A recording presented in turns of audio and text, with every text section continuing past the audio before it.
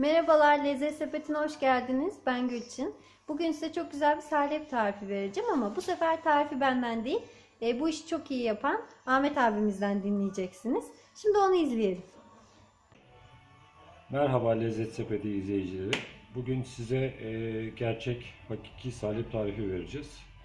E, biz bunu e, 8-10 kilo üzerinden yapıyoruz. Size e, daha kolay olması için 1 kilo sütten yapacağız. Malzemelerimiz 1 kilo süt, yarım su bardağı şeker, bir tepeleme çay kaşığı gerçek hakiki salep, bir adet de boş kuru kavanozumuz var. Şimdi öncelikle yarım su bardağı şekerimizi kavanozumuza, kuru kavanozumuza boşaltıyoruz. Ardından tepeleme bir çay kaşığı salepimizi, gerçek hakiki salep olması gerekiyor. Kuru kavanozumuzun içine şekerle birlikte katıyoruz. Sonra bu karışımı ağzını kapatıp bir süre böyle kuru şekilde şeker ve salepi kuru şekilde birbirine e, yediriyoruz. Bu arada sütümüzü de e, kaynaması için ocağa bıraktık.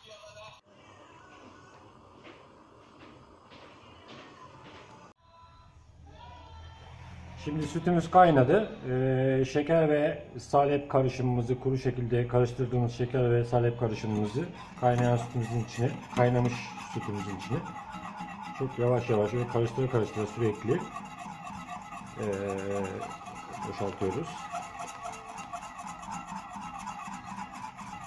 Bir 3-5 dakika bu şekilde sürekli karıştıracağız.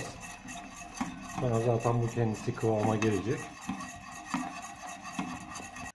Şimdi bunu böyle karıştırmaya devam ediyoruz. Az önce 3-5 dakika dedim ama en az bir 8-10 dakika bu şekilde karıştırmamız gerekiyor. Bu e, boza kıvamına gelene kadar böyle karıştıracağız. Daha sonra servisimizi göstereceğiz. Şimdi salepimiz hazır. Fincana koyduk. Üzerine olmazsa olmaz e, tarçınımızı ekliyoruz. Şu kadar yeterlidir. Şöyle etrafına süs de yapabiliriz. Afiyet olsun.